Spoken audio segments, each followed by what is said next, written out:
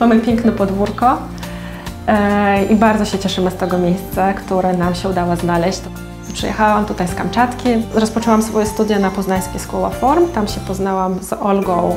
Pierwsze moje doczynienie z ceramiką, pierwsze moje doczynienie z porcelaną i gliną, ono było wtedy. Tam skąd ja pochodzę, na Kamczatce, to nie ma nawet, yy, nie ma nawet takiego materiału.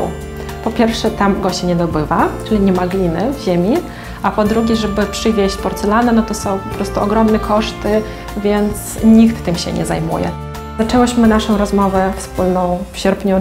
To był ciepły miesiąc, to był piękny miesiąc. To było pierwsze odwoływanie do, y, do nazwy, a drugie to się połączyło w jedno. Nasz jeden z ulubionych fotografów, August Sander, który działał w latach 20.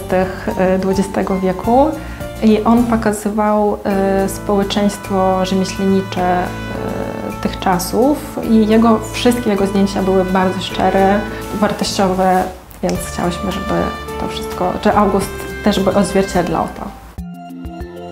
Zawsze jak pracujemy nad jakąkolwiek kolekcją, to jest jakiś, jakaś myśl przewodnia. E, coś, co nas e, jakoś tam inspiruje. Myślę, że to potem widać w tej pracy, mm, więc to jest jedna rzecz, że jakby sama koncepcja pracy, koncepcja serii e, odróżnia je od, od takich prac kupowanych nie wiem, w Ikei czy, czy gdziekolwiek indziej, ale też jakość wykonania i to, że każda praca jest inna.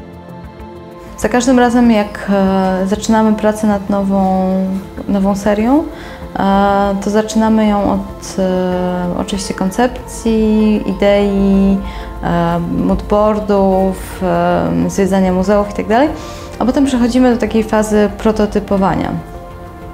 I ta faza prototypowania polega na produkowaniu jak największej ilości naczyń w skali 1 do 1. Produkujemy ją na kole garncarskim, wypalamy, używamy e, i tu już mamy do czynienia właśnie i z rękami, które ich używają. To dla nas jest bardzo ważne, żeby zanim wdrożymy do produkcji rzeczy, używać prototypów. Same używać prototypów, dawać znajomym do używania prototypów, jakby sprawdzać jak to się, jak to się używa.